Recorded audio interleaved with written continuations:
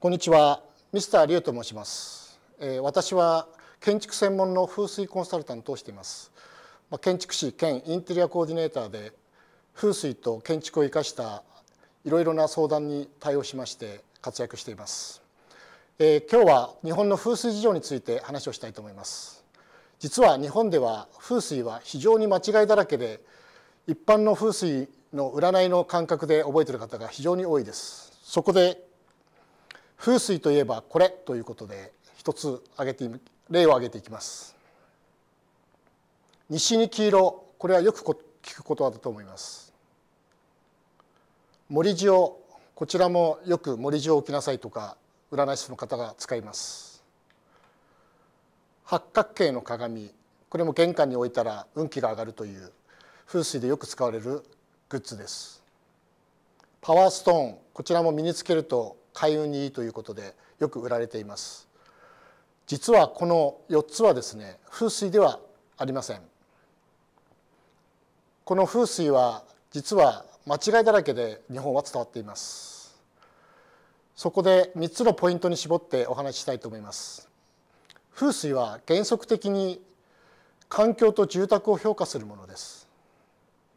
2つ目で風水は仮想気学霊感神仏とは関係ありません、えー、3つ目ですが風水は男女の相性運命なども占いはしません。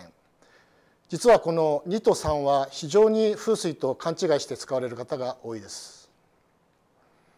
そこで一番勘違いされる風水と仮想気学との違いについて話をしましょう、えー、風水ですがこちらは中国が起源になっています。欧米やヨーロッパなどではなくて中国が起源の風水です。日本の仮想と言われるものはこの中国の風水の一部を取り入れまして日本の気候を考えた家づくりの知恵を使っています。ですから仮想は風水の一部と日本の気候風土を考えた知恵の占いです。そこで仮想の上等文句は皆さんも多分多く聞かれてると思いますが鬼門です。この鬼門というのは東北方位でよく日本では玄関周りを作ってはいけない水回りを作ってはいけないということで必ず使われます。その裏鬼門というのも西南です。こちらも水回りを作ってはいけないということで仮想ではよく使われている言葉です。実はこれは日本だけの独特のあの方位です。実は風水では鬼門のことは特別な方位ではないとされています。ですから鬼門だから運気が上がる下がるそういった言葉遣いも使いません。あとは八方位なんですがこちらの方位についても勘違いが多く見られます。気学ですとか仮想では北南西東が30度の角度で方位を見ることがあります。実は風水では45度で見ます。ですから8方位は全て平均的に方位が分けられています。仮想はこちらが違います。30度で北西東南を見ています。先ほど話した通り風水は8方位45度で分けています。また旧星占いの違いもあります。こちらは旧星というのは誕生日によって各個人の星が算出されます。例えば2013年8月24日生まれを見てみましょう。気学では豪土星となります。風水ではどうでしょうか？こちらは男と女男女分けています。これは中国の風水では陰陽の関係から男女の気の流れが違うということで男と女は違う星になります先ほどから話しました風水と仮想気学の違いについてポイントをまとめてみましょう、えー、仮想気学では鬼門裏鬼門は意味嫌うことが非常に多いですところが風水では特別な方位ではありません方位の角度についても仮想気学は北南東こちらが30度で見ています。風水では8方位は45度に分けられています。誕生日旧世については仮想気学では男女一緒に見ています。風水では男女が違います。ここで一つお断りしておきたいのは風水と仮想は違うという表現をしていますが仮想も気学もそれなりにきちんとした占いの術です。ですからあくまでも伝統的な風水と仮想と気学は違うということで認識してください。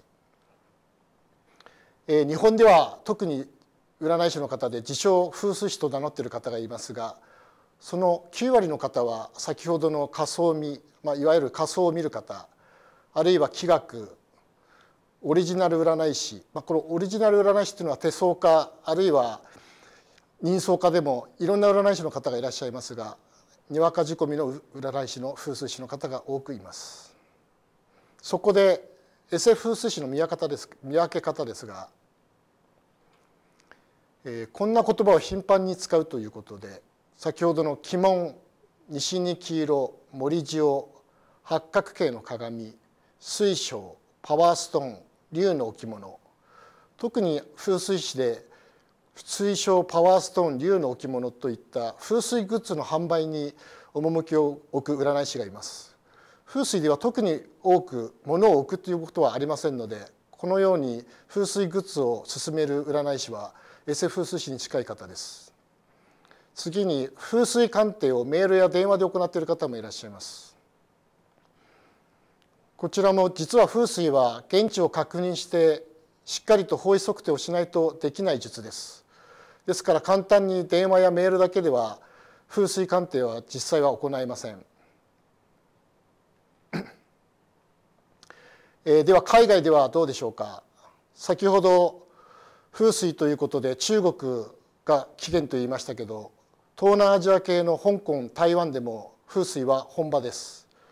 特に建物ビルについては風水師が絡んでいます。えこれは香港上海銀行ですがこちらが香港上海銀行です。この建物はイギリスの有名な建築家が手がけていまして詳細に風水が関わっています。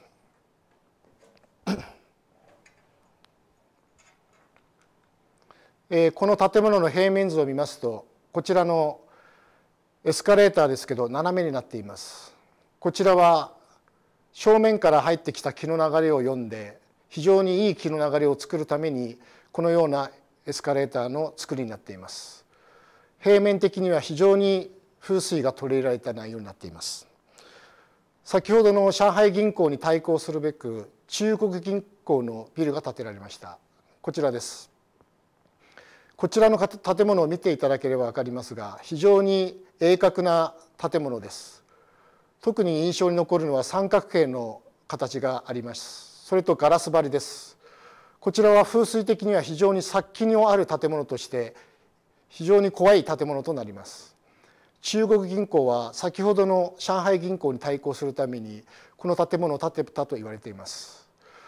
当時はこの中国銀行と上海銀行の香港戦争ということで非常に風水の占い方によってあの新聞を逃げ出しました。さて実際は本場の風水はどのようになっているんでしょうか？その言葉の意味とはどのような意味がその風水の中にあるんでしょうか？こちらについては本編で話をいたします。ありがとうございました。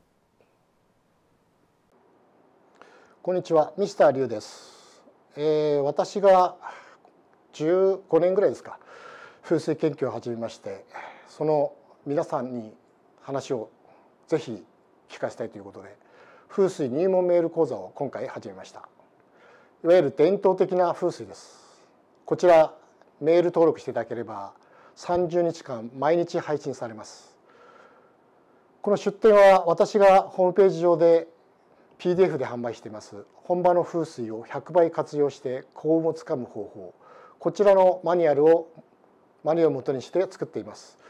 かなり追加しておりますので内容の濃い伝統的な風水が学べると思います。